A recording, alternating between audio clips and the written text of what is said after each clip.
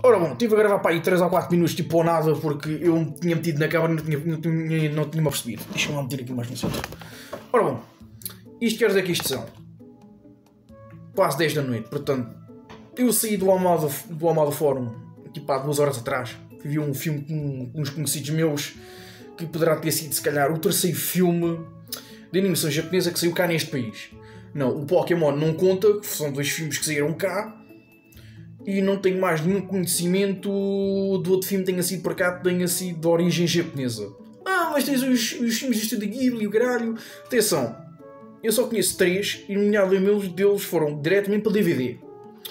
Uh, dois deles. Dê-me um segundo. Um, três deles literalmente foram diretamente para DVD. Um deles é a Viagem de Chihiro. Literalmente existe a versão, a versão em português, alguns na internet mas agora tenho pouca paciência para ir à procura, mas sei que existe. Isto é daqueles poucos que saíram diretamente para DVD com a dobragem portuguesa. A Princesa Mononoke também tinha a versão portuguesa e eu lembro-me ter visto algumas vezes em casa de um conhecido um, um, da minha mãe. O Pónio também lembro de ter visto, se calhar, um, o anúncio em, em televisão a apresentarem isto. Também sei que tem dobragem em português. Depois temos. Era aí, que agora já fiz merda. Este também. O Castelo Dante, também conhecido como House Moving Castle para inglês, também saiu em, português, também saiu em português. Porque eu lembro também ter visto o anúncio. Portanto, isto tecnicamente são filmes de animação japonesa que saíram de lá em cinemas, eu queria e vieram para cá em DVD. Eu tenho a coleção toda lá para trás. E agora não vou lá puxar aquela merda para mostrar. Depois temos aqui uns aos outros que eu lembro de ter apanhado, mas foi mais ou menos na FNAC. Eu tenho um, filme do Akira. Um do Ghost in the Shell, acho que aquele tem um vários, não sei quantos é que são. Este, eu literalmente apanhei na FNAC. E também que é engraçado. Não sei porque é que lhe chamam-lhe edição especial. Isto é só tipo. Só são tipo merdas cá atrás. Depois temos este também que foi apanhado na FNAC Nunca ouvi falar disto, mas também é um filme porreiro para ver. Depois tenho aqui um ou outro, que isto literalmente acho que saiu cá, pelo menos, o Mirai. Pelo menos acho que tinha visto na net, tinha sido cá em algumas salas de cinema e acho que a exibição era mais pequenina, era tipo em salas privadas, tipo só mesmo para ver. Uh, também fui comprá-lo por gasto inteiro. E depois tenho estes dois. Um deles vocês se calhar conhecem, o Broly. Também que saiu cá em Portugal, tipo, que é o ano passado, em maio. Este também, este tipo foi meses depois, ou um mês ou outro. Um, que por acaso tem a versão japonesa e a versão portuguesa. Também cheguei a ver quando saiu, quando anunciaram cá. Acho que fez um bocadinho mais fraco o outro. Até diz aqui. Uh, com versão portuguesa. Espera aí, não sei. Aqui com versão portuguesa. Diz aqui, não diz? Ah, versão dobrada. Ah, que se foda. É a mesma merda. O Broly também, mas aqui já não diz. Aqui tinha um vi cá atrás que é que diz. Lá lá lá, tem legendas, áudio português japonês. Pronto, que se foda. É aquilo que eu quero. Pronto, o filme que eu tô, venho para aqui falar, em geral, é daqueles poucos que raramente saem. Graças a Deus que Lisboa existe e existe mesmo uma comunidade um bocadinho maior lá. Porque o filme do Broly e aquele que eu fui ver, o, que é o. Deixa eu lá meter-me esta merda aqui em cima do secretário. É realmente este. Uh, fui ver durante os dias de estreia e o técnico não apanha ninguém. Este que eu fui ver, eu mais uns, mais uns conhecidos, um, ficamos até um bocado admirados de haver lá 3 ou 4 pessoas lá. Não foram 3 ou 4, aquilo eram se calhar 20, pelo menos um grupinho assim grande, que até ficámos admirados. Epá, isto até tem gente a ver, epá, espetacular também acho também tinha dito, pronto, isto é Lisboa. Natural, a concentração de otaques de Weebs lá é um bocadinho melhor que aqui a zona da margem sul, tipo Montijo, Barreiros e essas merdas. Portanto, fui fixe. Uh, é um filme porreiro. Não sei se cheguei, cheguei a dizer o nome do filme. Pronto, o nome do filme é The Weather With You. Em português é O Tempo Contigo. Não tinha tradução em português. Só aqui, pelo menos no site de nós, diz que é a versão legendada ao sol. Ora bom, Portanto, epá, como é que ia dizer isto? Eu estava à espera de uma coisa diferente. Ao princípio, quando vi o título, pensei que era um filme de viagens do tempo, o que era tipo The Girl Who Leaps Through Time, merdas assim parecidas. Afinal, não. Se for em inglês, diz lá literalmente o que é que é. Portanto, fica com a ideia. Ah, uma rapariga controla tipo, o tempo, tipo a Storm, o X-Men. Um bocado errada, porque ela literalmente controla o tempo, entre aspas, meteorológico, um, em uma escala pequenina, que ela só consegue controlar o tempo. Não é controlar, ela literalmente reza a Deus. Vá ou um deus qualquer por lá, em que, pronto, consegue fazer com que deixe chover durante, durante o tempo. Limitado, aquilo acho que é tipo umas horas. Uma merda para aí. Uh, continuando, pronto, em relação ao filme, é exatamente isto. O filme começa com, com a introdução ao protagonista, que isto é outra vez aquelas três lamechas de, de romance. Uh, pronto, uh, tipo, Your Name acho que é o único filme de romance que aparece para aí, mas não é bem e não percebo, ainda não vi, tenho que ir ver aquela merda para, para, para ter uma ideia do que é que é. Uh... Até o cisne está um bocado errado, que aqui diz que é um filme de animação japonesa, conta a história de um adolescente que decide fugir para Tóquio, o que acontece, onde faz amizade com uma rapariga que parece ser capaz de manipular o tempo. Entre aspas, ela tem lá a maneira, mas é um bocado reles. Portanto, juntos vão viver uma aventura inesperada, que é um bocadinho meio estranho que eles não vivem. Ele, eles literalmente arranjam maneira de dar uso àquela habilidade que ela ganha. E porque ela literalmente vão ver o filme, que eu também não quero entrar em spoilers, a mim me levar, pronto, vou entrar. Também ninguém quer saber desta merda.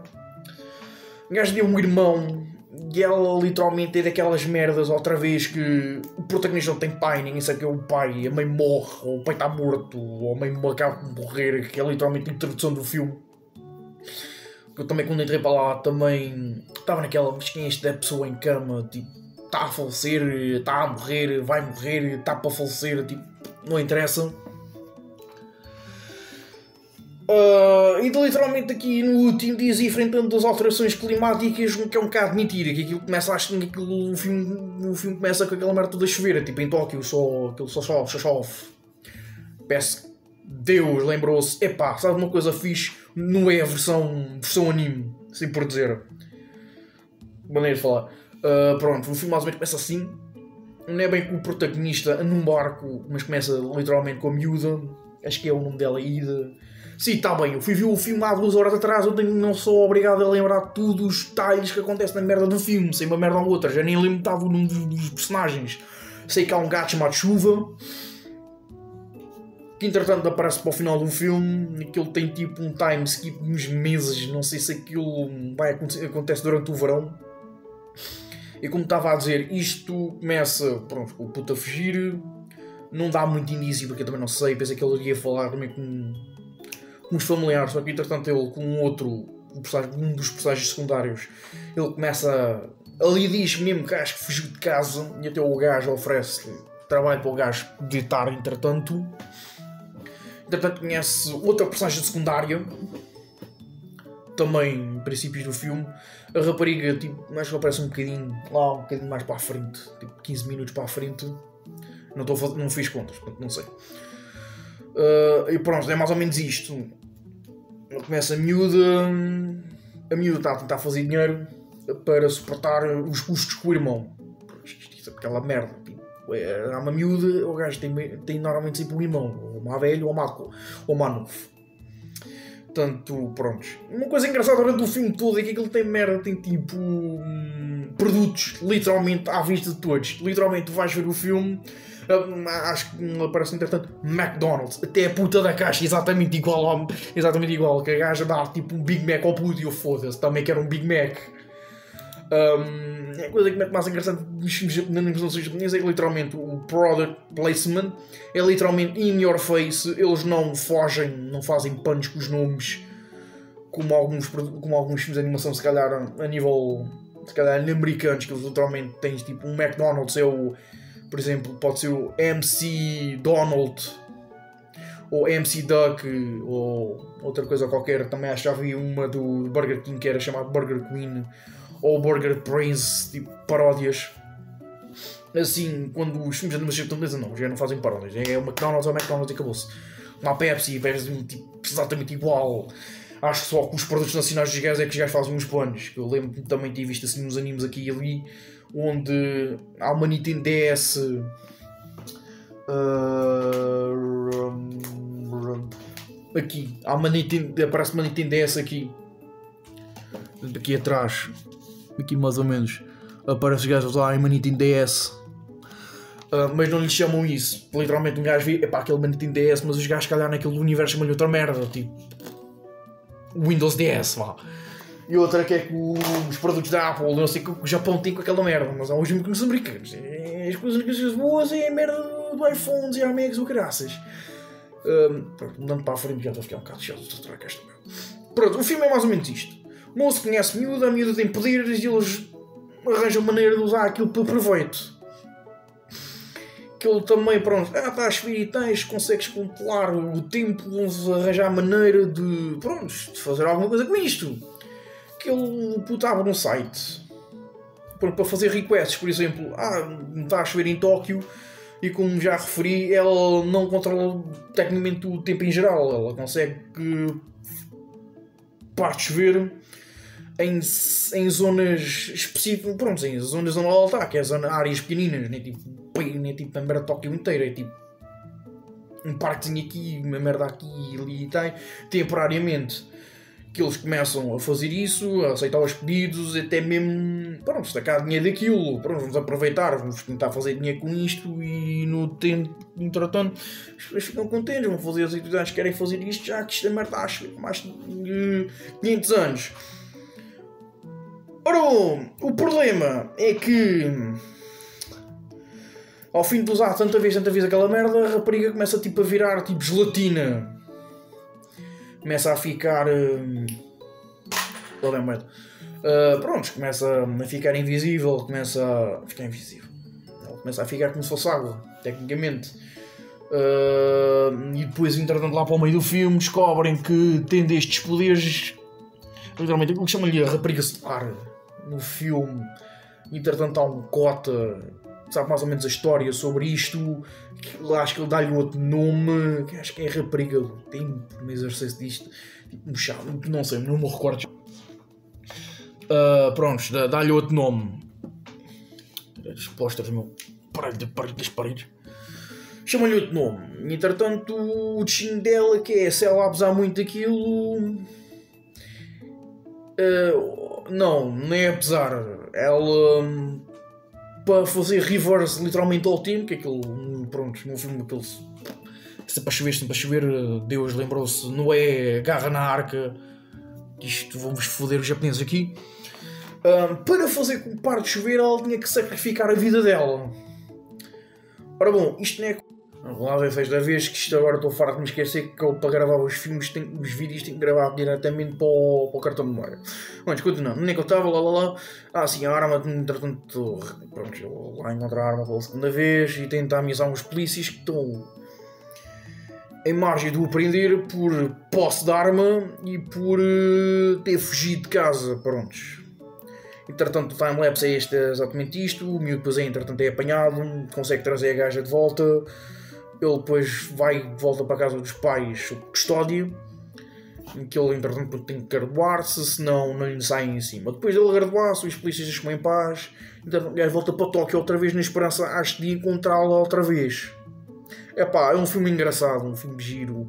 A história é tipo a melhor coisa que existe. É tecnicamente aquele clichê lamechas de história de romance que é puto, conhece miúda e entretanto metem uma merda para lá para fazer tempo. Uh, os visuais são do caralho literalmente. Muita gente queixa-se, ah, CGI, CGI, animação não combina, o grande. É assim, se for bem feita, tudo bem. Cá há certas partes que apanha-se ali que aquilo vê-se mesmo que é animação em computador. Epá, está engraçado. Dá um passa de lado. Se não tiveres tipo a prestar atenção, que eu passo ao lado. De... Não há assim já grande coisa que eu possa explicar para além disto tecnicamente não consigo dar um review assim em geral, é só mais tipo falar um bocadinho do filme. Uh, isto diz que a duração é de 120, são 120 e tipo foi quase 2 horas, pá, e os filmes de animação passam tipo uma hora e meia, que é um bocadinho reles. É, né? 190 mais 90. Não. 60 mais 100 dá 120. Portanto, é tipo uma hora e meia, vá, uma hora e vinte. É pá, é um filme porreiro. E outra coisa que também me chateia é tipo não temos mais filmes destes, pelo menos a saírem tipo, em salas de cinema. Está bem que é tipo um um mercado assim mais para o nicho, assim pequenino. Somos um país também assim para o pequenino e tipo estas cenas vão e vêm, vão e vêm. E se o gajo não tiver a prestar atenção, tipo em sites online, em sites mesmo país, tipo há dois ou três, ou para quem tenha no Facebook esteja em, em grupos de, de, anime mais em terras luso, pronto, de grupos de Facebook mesmo feitos por malta otakus portugueses. Uh, um gajo por isto é tipo filmes passa para lá para um otaku, tipo um i português. É literalmente um gajo tem que prestar atenção e normalmente isto é só cenas que um gajo só descobre através de tipo, pesquisas ou porque estão um grupo Facebook dedicado para este tipo de merda e de vez em quando lá aparece uma coisa ou outra. É como digo, tipo, em 20 anos que eu cá estou, 20 anos de nascença, só vi tipo, se calhar 5, anime, 5 filmes de anime, dois deles, três deles eram. Um era animação japonesa e este, este segundo. Entretanto, tá, também está para sair em março, mas eu depois falo nisso, claro, quando chegar. E se é se chegar, porque entretanto posso morrer atropelado de uma maneira qualquer. Ou morrer de outra maneira, ou tirando da janela mas isso não deve acontecer. Pronto, é mais ou menos isto. Uh, para quem esteja tipo na zona por Lisboa ou merdas assim, para quem já viu Porreiro, para quem não viu, para quem tenha mais ou menos interesse neste tipo de coisas, a força. Para quem já viu tipo Your Name, isto é literalmente do mesmo criador. Isto não diz quem foi o gajo que fez isto, mas acho que é do mesmo criador. Porque há ali um, um easter egg que aparece a meio, que acho que os protagonistas de Your Name aparecem como bystanders portanto, merda que eu não apanhei, porque eu nem sequer vi o filme e nem sequer estava a prestar atenção tipo, que vai acontecendo tipo em em background, que aquilo é tipo mais daquelas merdas que temos que prestar atenção mesmo ao filme. Outra, a, a música que também é espetacular, que eu entretanto estava a meio do. a meio do intervalo abri o Google, o Google Play e tentei procurar a ver se havia OST e pronto, também comprei, está a mostrar que sim senhora, temos mais pessoas para fora do Japão que estejam, estão mais interessados nisto. Também, também já ouvi tipo vê-lo, os japoneses também não querem saber do mercado internacional, estão mais preocupados com o mercado nacional, portanto acho que isto para eles é cagatório. Ah, gajos fora do Japão gostam disto, é, é por uma deles, não quer saber.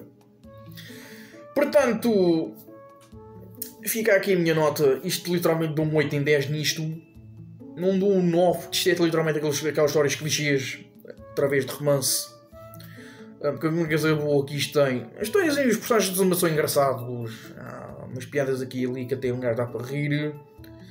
Uh, e outras tipo. Deixa eu lá.